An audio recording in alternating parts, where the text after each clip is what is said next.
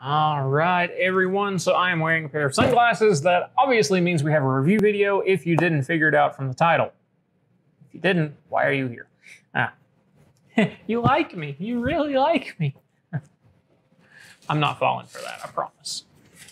So here we have one of the brand new releases from Maui Jim. This is the Mikioi, Mikoi, Mikioi, Mikioi. Every time, every single time. Let's take a look at it and see what she's about. He's about.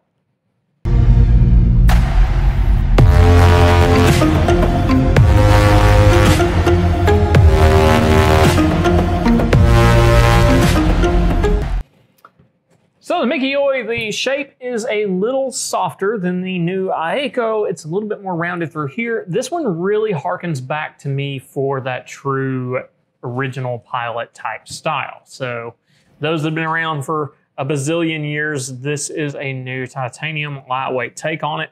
You'll see it all the way from the monoblock hinge to the very minimal construction throughout.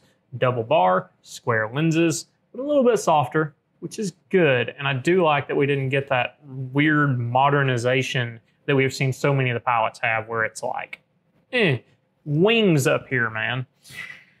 Oh, the wings. The wings. Yeah, well. So, what Maui Jim has to say about these is it is the Mikioi. Somebody, please. these names. I get it. I just don't speak the language, okay? So, these, the Maui Jim description, inspired by its literal translations, which they don't mention, so I Googled it. It is literally dainty in construction, exquisite, excellently made as a result of workmanship. Yeah, dainty and neat in craftsmanship. And they are very minimal, very lightweight, very well thought out. It is Japanese titanium, which at this price point is already kind of absurd on its own. You do have these silicone nose pads here with, of course, the little parrot buried inside there. Fit and feel is pretty nice on these. I would like to see a little bit larger size of it. I actually prefer the sizing of the Aiko.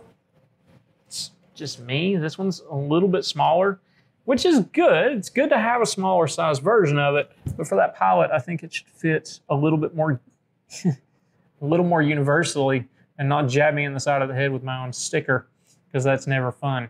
Sizing on this one is, yeah, it's literally two millimeters smaller. this one is a 54 eye size, which is our distance across here, 16 millimeter bridge, and then we've got a very small, uh, two and a half to three millimeter extrusion here for the horn area. The lenses in these I spec'd with the blue Hawaii. I don't believe that is the stock on the Dove Gray. Yeah, that is actually the stock on the Dove Gray. That is incredibly unusual. I must have been asleep at the wheel because that's a Maui Pure lens. I just like how it looked. Sometimes it happens. I slipped on one, guys. I slipped. You can jab me on that one all you want.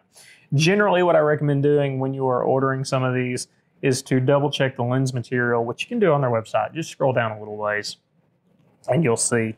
Or if you know how to read their codes and the temple tips, look for an MB, which actually doesn't apply, I think. Once we've done the custom lenses, it's not imprinted as an MB. It would be imprinted as an MP for the Maui Pure. Hmm. Quite a conundrum there. Anyways, so Generally, if you care about scratch resistance much at all, I would avoid the Maui Pure Lens material. But these are more of a style fashion pair. You're gonna take a little care of these. You're not gonna be out there just beating and banging them up. The more uh -huh, astute observation is a fashionable style, really nice and lightweight, good fit and feel on the face. Overall, nice. I would have liked to seen just a little bit more curvature of the front in these but then they really would have had to step up that sizing. I really got to do something better with these stickers, guys. That's awful. Uh, yeah. But as we mentioned on the Aiko video, come on. Uh, they do use that monoblock hinge there, which means both of these screws have to come out in order to actually separate that hinge. A little extra security there if you do have a screw start to back out, because what happens is both of them have to back out for things to actually fall apart. Uh, unless it's this back screw, in which case, if that one falls out entirely, this can still fall straight out. Very unusual. I haven't actually seen that happen. But technically, technically, it could. so I find it very interesting that their description talks about the uh, daintiness of construction if they are staying true to the language. Because the titanium makes it anything but dainty, at least, you know, the, the word I hear thrown around with frames like this pretty regularly is flimsy. They're far from it. They're very quite, quite, quite very strong. The overall fit's good. I would have liked to have seen a little bit more of an ergonomic flare on the back of these temples just so it fits here without too much pressure. These do kind of tend to poke a little bit. Uh, my sticker, obviously, is not helping with that. But yeah, it does a pretty good job of it. Now let's continue here. So this thin titanium frame yeah, with precise temple tip cutouts, which I would have liked to seen a counterweight instead of a cutout, but whatever. Combines the essence of a traditional silhouette and a modern flat top double bridge, which is, yeah, it goes straight across, very nice and flat across that top edge, which has been a big, very strong trend in fashion recently. So I do like that. Uh, da, da, blah, blah, blah, blah, blah, blah. Polarized plus two, blah, blah, blah, blah.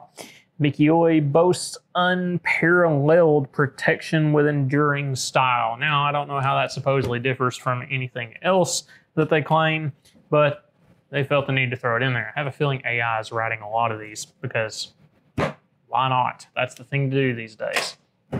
So, overall fit, feel, finish, I'm going to give these good, especially at the price point. Uh, Japanese titanium, and you're talking about $300. That's solid. One thing, just so we cover it, let's take a quick look. Uh, yeah, Maui Green and I think Maui Sunrise. Yeah, so it's the same as the others. Uh, Maui Sunrise and Maui Green are going to be your only two that are just kind of ready available in the Maui Brilliant. I think I actually did. I got to figure out a way to compare that because I am positive. I'm to have to look back at my paperwork. I am positive I ordered this, at least for my store, with the Maui Brilliant in the blue Hawaii. It's to bug me, but I'm positive I did it. I just don't have the order invoice for those here handy. You can't order that way on their website. I can, apparently, I think. I'll find out. I'll let you know in the comments. Speaking of the comments, let me know your thoughts on the Mikioi if you feel like it lives up to the name of high dainty craftsmanship, great workmanship. Mm, I'm losing it, guys. I am absolutely losing it. I'm falling apart, and that is all there is to it.